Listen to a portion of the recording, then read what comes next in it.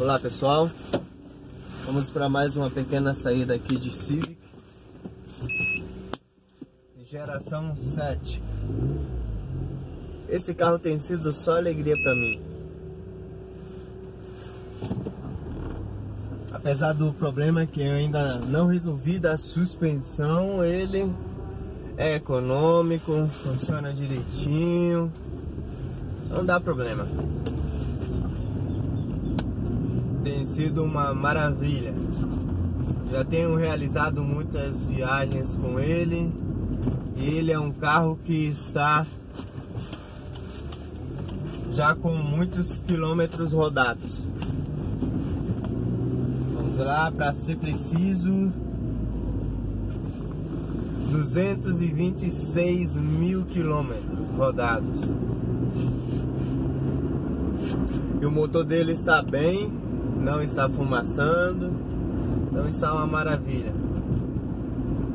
Aconselho a compra desse modelo de carro aí para os que desejarem, os que estiverem buscando. Esse carro, quando eu estou em viagem com ele cheio e com ar condicionado ligado, ele faz 14, 14,5 km por litro. Isso porque eu ando a 110, né? 100 110. E a 100, entre 100 e 110, ele já fez 17 quilômetros comigo, 17,5 se não me engano.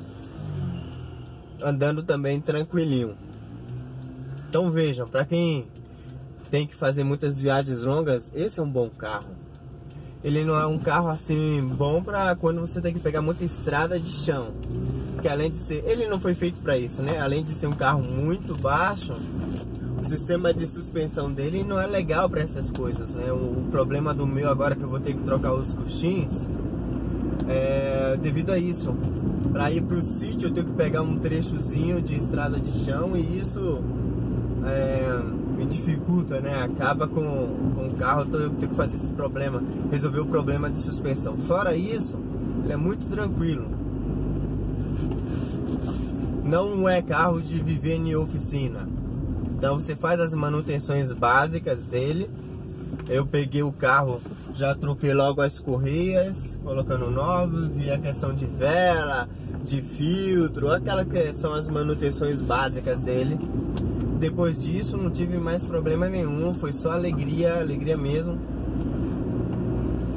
Nunca me deixou na mão para nada.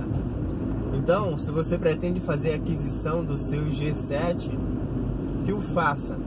Observe as condições do carro. Esse carro ele está muito inteirinho, muito impecável, de lataria. Tem um pequeno defeitozinho, só que é um defeitozinho já de uso.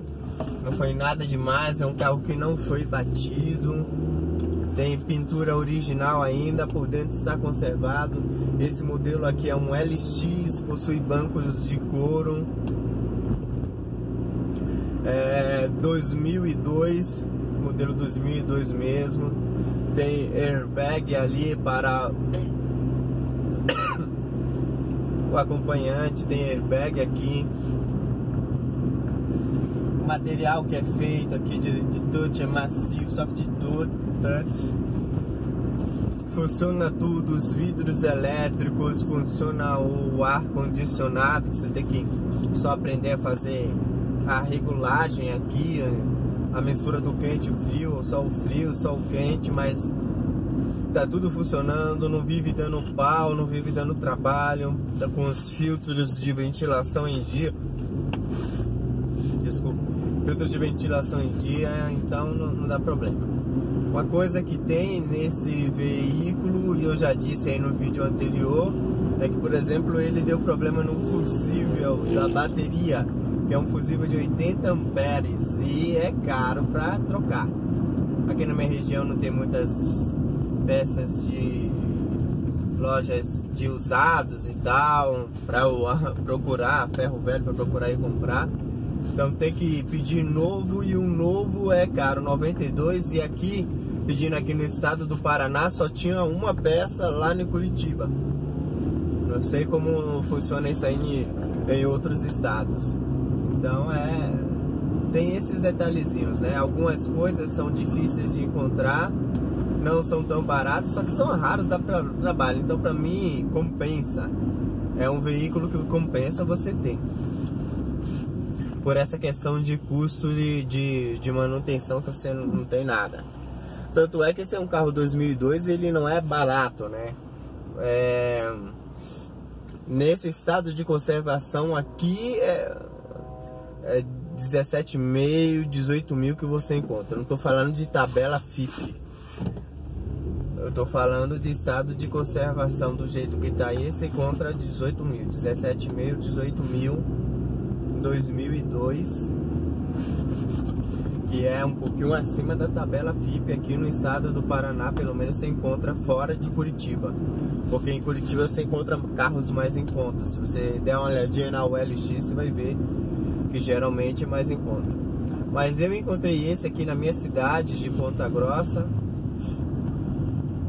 que é do jeito que eu queria, né? Eu não pretendia ter um carro que fosse automático, né? Eu queria um carro manual e na época que eu decidi comprar esse carro. O manual que tinha era aqui mesmo na minha cidade e eu fui ver estava em estado bom de conservação. E era tudo isso que eu, que eu precisava e que eu queria. Por isso eu comprei esse daqui mesmo e está me satisfazendo plenamente.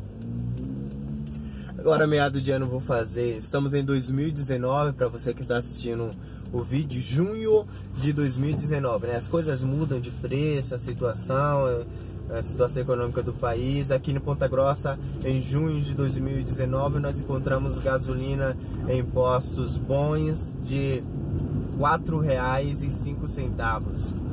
Então dá para encher o tanque, andar muito, inclusive ir para o trabalho todo dia com ele que eu tenho feito isso aqui.